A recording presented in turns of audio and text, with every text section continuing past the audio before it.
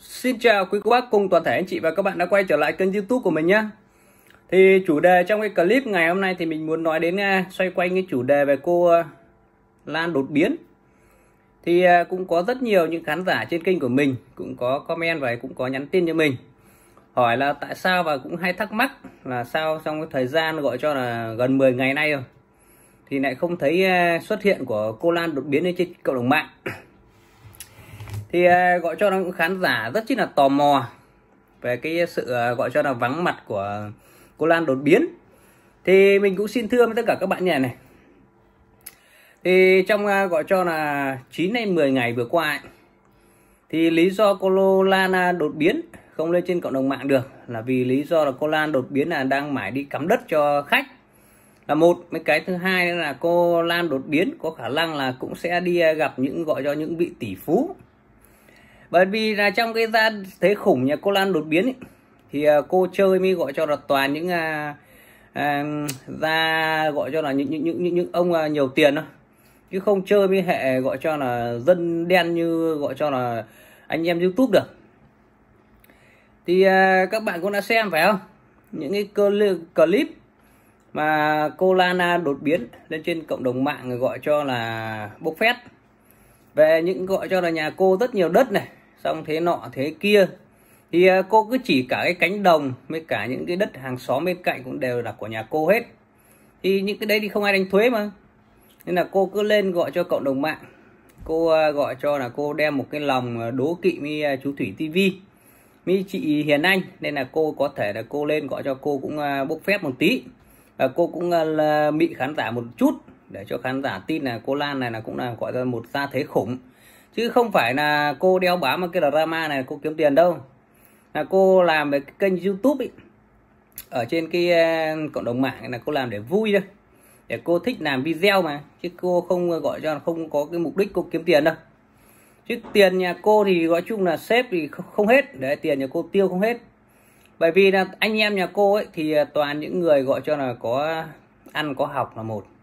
Mấy thứ hai là gia đình nhà cô gia đình danh giá đất nhà cô thì gọi cho cò bay mỏi cánh, đấy.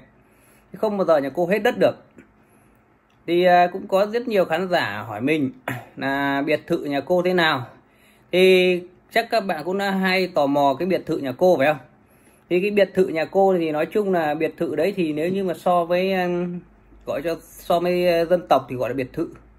Còn so với thành phố người ta gọi là nhà cấp 4 đấy, nhà bình thường. Đấy, như thế thì chắc các bạn cũng đã hiểu, phải không? Cái thứ hai nữa thì à, cô à, Lan đột biến này, thì à, cô cũng nói chung là cô cũng được ăn được học. Thì cái sự ăn học của cô thì các bạn cũng đã xem trên những cái clip cô diễn, phải không? Thì cái sự thảo mai là một này, và cái sự lẻo mỏ của cô, thì đấy là do là cô đang diễn xuất. Chứ không phải là cô điệu như thế đâu, thì các bạn nghĩ về cô điệu là sai rồi, bởi vì cô không điệu một tí nào cả. Cô chỉ có lẻo mép tí thôi cô chỉ gọi cho hơn con trích chòe một tí. Gọi cho hơn cô gọi cho con phúc tài chính à, hay là con con con phúc lươn một tí thôi, chứ cô cũng không à, gọi cho không điệu biết gì đâu. Thì à, các bạn cũng hay thắc mắc là tại sao mà gọi cho cô Lan đột biến này? Thì hay gọi cho là bấu víu vào cái drama của cô Nguyễn Phương Hằng này. Mà khi cô Nguyễn Phương Hằng gọi cho là không muốn gọi cho là đã đuổi khỏi cổ ấy đã không muốn uh, cho tham gia cái drama này mà tại sao lại uh, cô Lan uh, đột biến này cứ hay uh, đu bám vào. Thì mình cũng nói luôn như này này. Thì uh, cái drama này thì uh, cô Lan đột biến này thì nói chung là tham gia và cô chỉ tham gia cho vui thôi. Cô lên thì cô diễn xuất thì các bạn cũng đã xem phải không? Thì cô chủ yếu cô thơ ca mới gọi cho cô chỉ đọc câu trước cái câu sau cô lại liếm lại. Chứ cô cũng chả giúp ích được gì cả nên cô vào cái drama này mục đích của cô cũng chỉ gọi cho là vui thôi. Cô, cô cũng không, không không nhằm mục đích kiếm tiền đâu. Bởi vì nhà cô là ta thế khủng mà. Cũng nói chung là cũng hơn con quần dơ tóc bết mất lên một tí thôi chứ cũng cũng, cũng uh, không kém gì. Cái thứ ba nữa thì mình muốn chia sẻ với tất cả các bạn như này này. Thì uh, có một bạn thì cũng hỏi mình à thế tại sao uh, cái gọi cho cô Lana đột biến này lại đu bám như vậy? Thì đây gọi cho đây là cái sở thích của cô mà chứ cô không không phải là cô lên cái kênh youtube này để cô mục đích của cô là kiếm tiền đâu.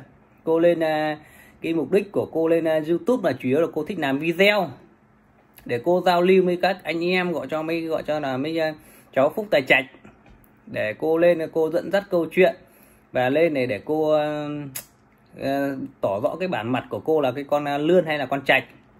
Chứ cô cũng chưa có ý định cô cô, cô quay xe đâu. Thì cũng có khán giả hỏi mình là tại sao trong 9 ngày vừa qua thì à, tại sao cô lại không xuất hiện trên cộng đồng mạng?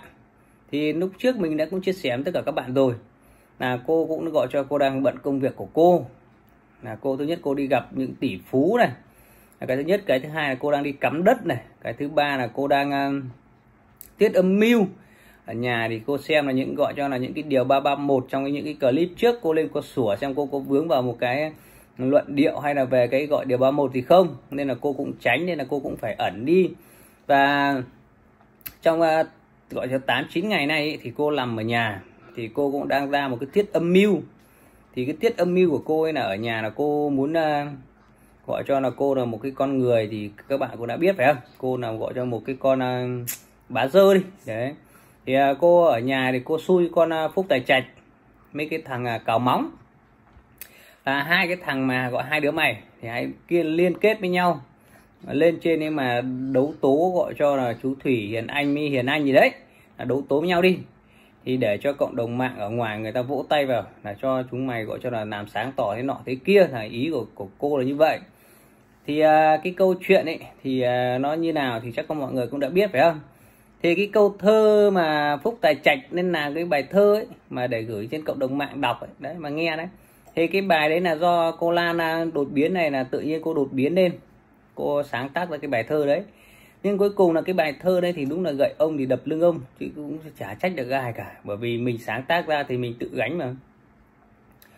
Thế là tại sao mà tất cả các bạn hay hay thắc mắc là à, thắc mắc tại sao là cô Lan đột biến này lại à, xóa clip. Thì đấy cái, cái đấy thì mình cũng chia sẻ với các bạn rồi thì cái thứ hai nữa là tại sao cô Lan à, đột biến này bị đuổi như vậy rồi mà cô vẫn đu bám vào? Thì mình cũng chia sẻ với các bạn là thứ nhất là dẫn cô vào cái drama là chủ yếu cô thích làm video. Đấy. Cô thích ra những cái clip hay, những clip bổ ích để cô lên, cô diễn trên mạng, để cô lên, cô gọi cô lên, cô sủa sằng, sủa bậy, xong cô lên, cô dẫn dắt câu chuyện xong là cái thứ hai là gọi cho là cái cái cái cái học thức của cô là cô chỉ có đọc thơ mới ca mới gọi cho văn vở thôi chứ cô cũng chả làm cái ngữ gì đâu. Cái sự lẻo mép của cô thì chắc chắn mọi người cũng biết phải không? Đã nhẽ ra thì cô phải đi đóng gọi cho cô phải đi đóng cái dàn diễn viên thì đúng hơn. Chứ cô mà à, đi lên cái youtube như này cô đóng này thì nó không hợp lý lắm phải không các bạn? Cô làm những cái clip thì thật sự với các bạn là cũng hơi bị lố bịch một tí. Là cái thứ nhất cái thứ hai là gọi cho là cũng uh, gọi cho là bá dơ. Đấy mình cũng nói quan điểm của mình thẳng luôn là gọi là, là bá dơ chứ không phải là không. Thì cái sự bá dơ của cô thì như nào thì chắc các bạn cũng đã biết phải không thì cái thời gian mà cô Nguyễn Phương Hằng lên ấy thì cô cũng đã nêu rõ rồi quan điểm rồi. Là tốt nhất là lên nghỉ đi cho nó khỏe. Chứ đừng à, gọi cho đu bám drama này nữa. Thế là cuối cùng là vẫn gọi cho mon men mon men phải không? Xong đu bám vào xong làm cái clip phân tích thì nọ phân tích thế kia xong cứ đăng cái tab cộng đồng lên cho lại chỉnh sửa chỉnh sửa chán xong lại bắt đầu là xóa xóa xong lại bắt đầu đăng lại. Thì à, các bạn cũng đã xem cái sự gọi cho cái sự thảo mai là một này mấy cái sự gọi cho cái sự lẻo mép này. Thì thường thường các cụ vẫn nói có câu từ ngày xưa với nhau rồi mà.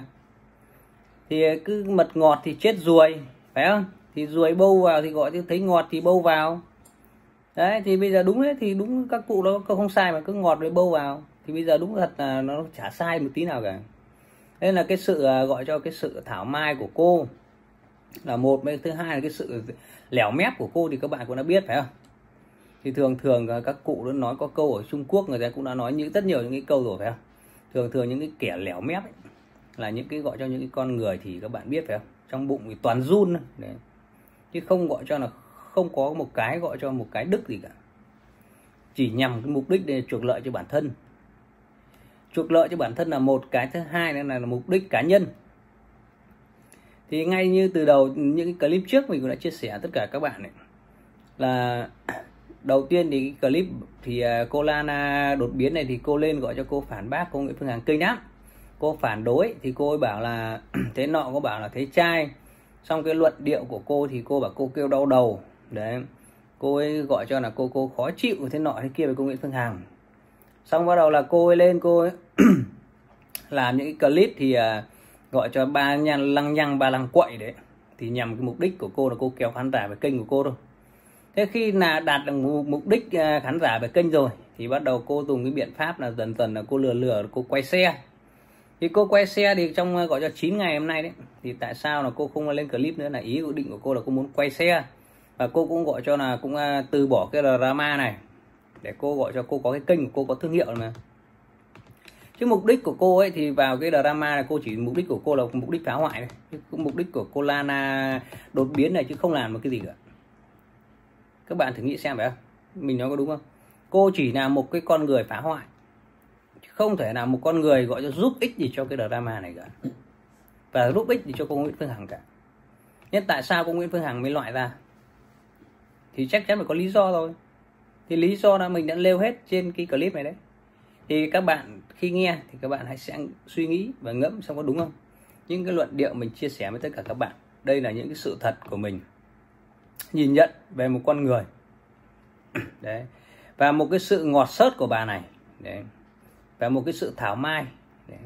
lẻo mép thì nó đều được gọi cho là chứng minh hết qua sự gọi cho là giao tiếp mấy cái sự gọi là nhìn nhận của khán giả. Thì uh, thôi thì cái clip thì hôm nay mình làm nó cũng ngắn đến đây thôi. Thì mình mong tất cả các bạn hãy có một cái nhìn thấu đáo nhất và một cái nhìn khách quan nhất về cô Lan đột biến. Xem những cái clip mình chia sẻ trước xem có đúng không? Trong cái thời gian suốt gọi cho một uh, gọi cho 10 ngày nay đi. Đấy. Cô Lan đột biến này đang gọi cho dùng cái âm mưu gì hay là cái kế sách gì hay là hoãn binh gì đấy thì mình sẽ chia sẻ tất cả các bạn nhé. Xin chào các bạn. Hẹn gặp lại các bạn ở những clip tiếp theo. Bye bye các bạn.